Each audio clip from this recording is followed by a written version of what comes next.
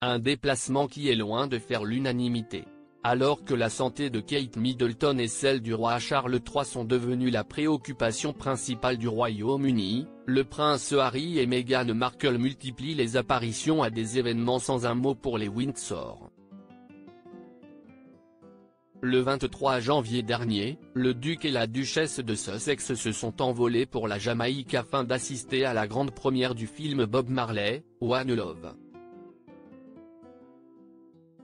Avant de découvrir ce biopic, les parents de Lily Bay Archie ont pris le temps d'échanger avec du Premier ministre jamaïcain, Andrew Holness, et de sa femme, Marlene Malaou Forte.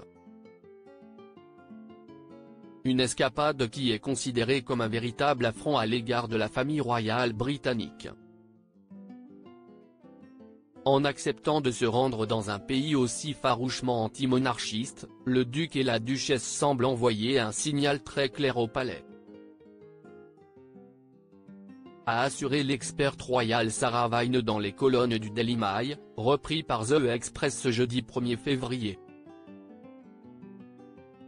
et d'ajouter, il me semble qu'ils ont l'intention d'utiliser leurs liens royaux pour porter atteinte à la fois à la réputation individuelle des membres de la famille royale et à celle de l'institution dans son ensemble. Au fil de sa chronique, Sarah Vine a souhaité démontrer que l'office cadet de Charles III et l'ex-star de la série Suits contribue à alimenter le sentiment anti-royaliste dans tout le Commonwealth et ailleurs. Indigné par cette attitude, l'expert royal a estimé que les deux époux devraient être déchus de leurs titres royaux.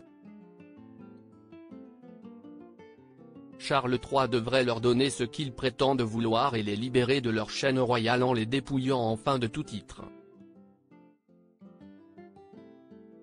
A-t-elle conclu sans langue de bois Supérieur à supérieur à Harry complice avec le reste de la famille royale, ces clichés presque oubliés Meghan Markle et Harry, cette autre gifle infligée à la famille royale avec ce voyage en Jamaïque et leur présence à la cérémonie des Living Legends of Aviation Awards à Beverly Hills, Meghan Markle et son mari Harry ont suscité une vive indignation.